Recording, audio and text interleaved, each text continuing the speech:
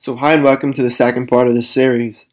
So in this part what we're going to be doing is we're going to be creating our database and we'll be creating our files. So the first thing we need to do is we need to go to uh, our FTP uploader. So I'm using FileZilla, here it is. I have a connection to francismcnamee.com uh, which is the primary account for this, uh, which is the uh, hosting account for this uh, domain. So this is francismcnamee.com domain and I just added an add-on domain called min.es.vc uh, so what I did was I FTP'd into the francismcnamee.com account and I went to my folder which as you can see here I'm storing my add-on domains in slash add-on domains slash the name of the domain. And here it is here. So if I go to index if I go to uh, sorry min.es.vc you can see this corresponds to uh, this here. So if I delete CGI bin so let's just delete that uh, and you can see there we go it says uh, it says empty directory listing. If I refresh the page now, you can see that's disappeared. So this is the directory that min.es.vc is hosted in. So what we're going to do is we're going to right click, we're going to create new file, we're going to say .htaccess because we need to use htaccess for our URL shortener.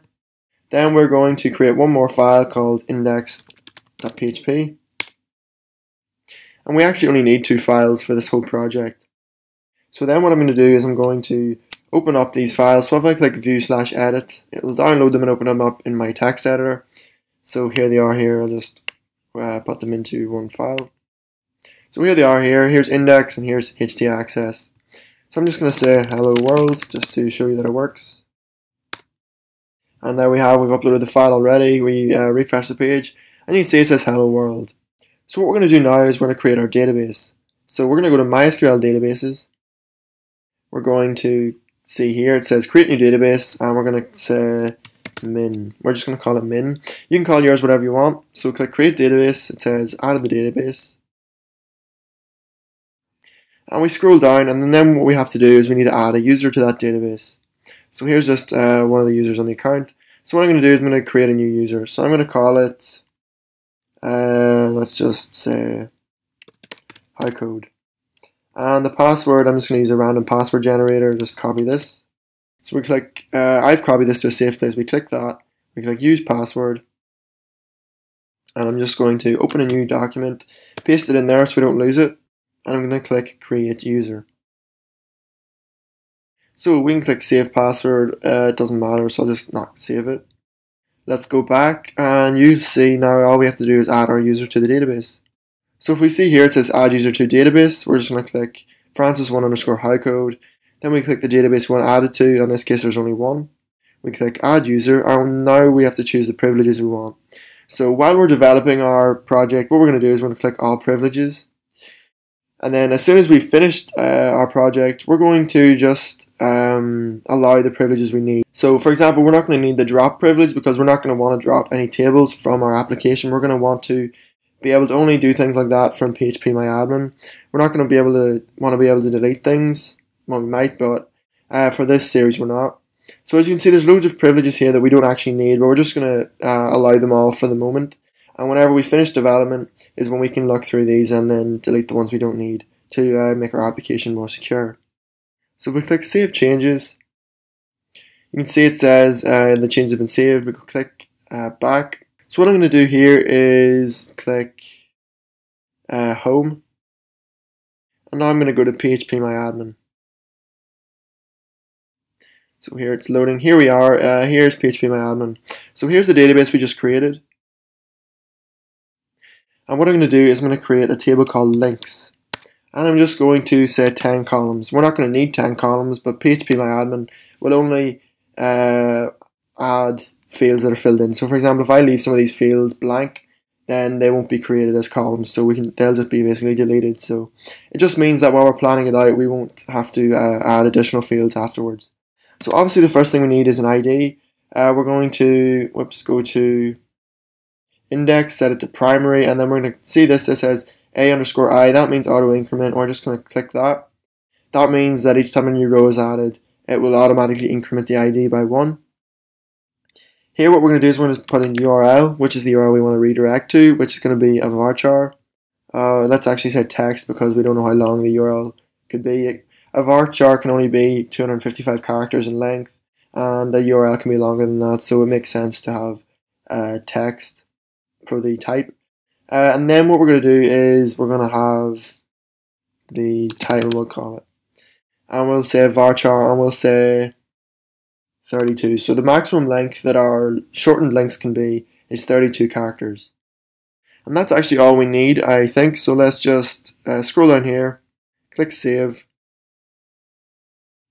and we click uh, Structure.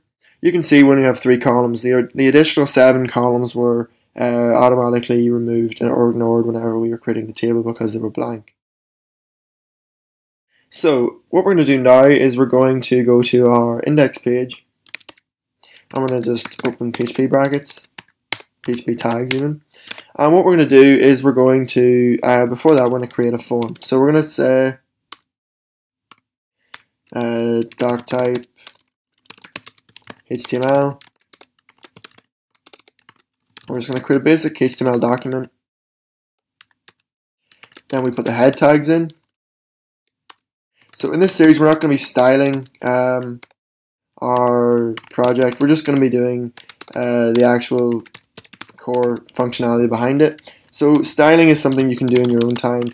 Uh, this is just to make sure we're not teaching unnecessary um, uh, things that are going to make the project a lot more complicated uh, and unnecessarily complicated. I want to keep it as simple as possible. So we'll just say min, let's just say shorten your links with min dot es.vc and let's refresh or else, uh, upload that. So we just click uh, yes that'll upload the file. Go to min.es.vc refresh the page and you can see the title has just changed. So now what I'm going to do is I'm going to create a form. So I'm just going to I'll actually I'll create a h1 tag and I'll say shorten your links. And then I'll create a form underneath that. Uh, and the form is going to have a text box.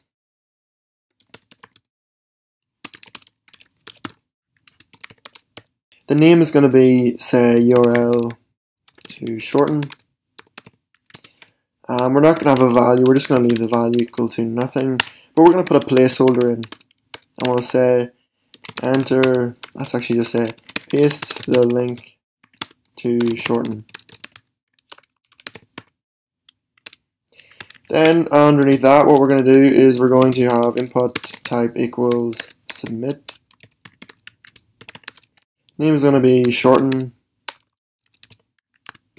And the value is going to be equal to shorten link. So let's uh, run the uh, upload that actually, and we'll run it now. You can see it says shorten links. Paste the link you want to shorten. We click shorten link, and that should shorten it. So what we're going to do is we're just going to center everything. Uh, uh, the center tag is actually depreciated at the moment, so you shouldn't actually use it for any uh, production website. But because we're not focused on the design in this series, we're just going to use it anyway. So we're going to say form action equals uh, index, which is going to be a equals index. But we could just say index.php, whoops, index.php, or we could just put a, a slash in. Uh, that means the same thing. And what we're going to do is we're going to say method equals post because we're posting data off. We don't want to pass any parameters in the uh, URL. So what we're going to do is we're going to go up here and we're just going to say if is set post and we're going to uh, check for the URL button being uh, pressed. So we'll say if is set post shorten then echo clicked.